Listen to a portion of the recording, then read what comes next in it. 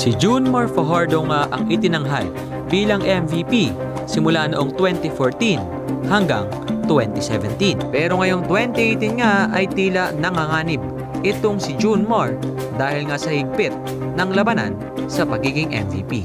Kaya sa ating video, mga kabiboy, ay atin nga pong pag-uusapan kung sino-sino nga ba ang mga karibal ni Junmar Fajardo sa pagiging MVP.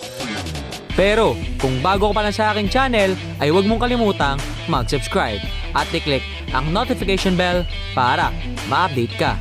So, let's begin this video.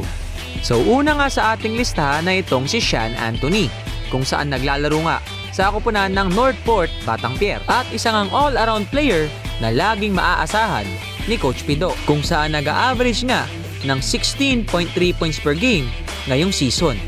And the next one na itong si Japet Aguilar, kung saan naglalaro nga sa koponan ng Barangay Hinebra, San Miguel, at isang athletic player na may konting touch sa labas. Kung saan nag-average nga ngayong season ng 16.4 points per game at hindi nalalayo kay Sean Anthony.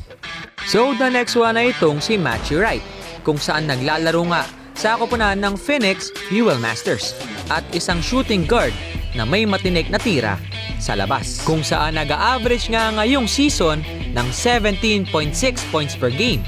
And the last one na itong si Stanley Pringle, kung saan naglalaro nga po ito sa koponan ng Northport, Batangpier at dating kakampi ni Terence Bill Romeo na isang scoring champion on the past 3 years. Pero ngayong taon nata ay papalitan na siya ni Stan the Man dahil nga nag-average siya ngayong season ng 21 points per game kung saan tinalo niya nga si June Fajardo na may 20.6 points per game. Kaya naman ating abangan sa January 13, 2019 kung sino bang tatanghalin bilang MVP. Kaya naman yon, hanggang dito na lang maraming maraming salamat sa panonood. And once again, this is Bob Gameshow TV saying bye-bye!